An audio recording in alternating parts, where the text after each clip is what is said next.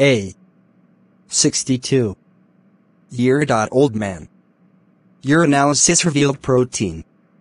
What is the possible cause? Answer questions. Renal diseases. What the tests required for confirmed diagnosis? Answer questions. Urea and creatine. If was urea equals 38. Normal 2.5. TO6.6 small slash L and creatine in 635.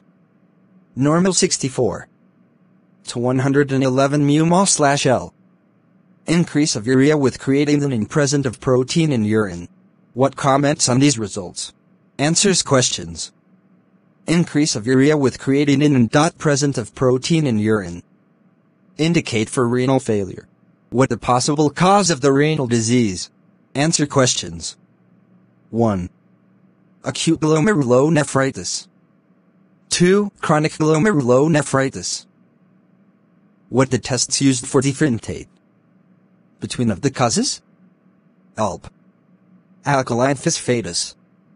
And HB. Hemoglobin. The T sets used for differentiate. Between causes is 1. Alkaline phosphatase. 2. Hemoglobin HB. What comments on these results? ALP.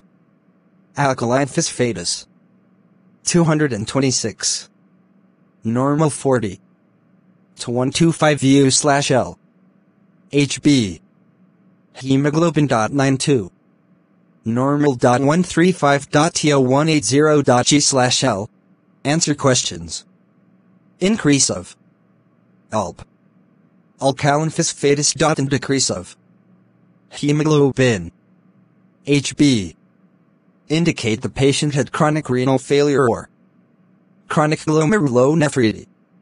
While a normal result is acute renal failure or acute glomerulonephritis.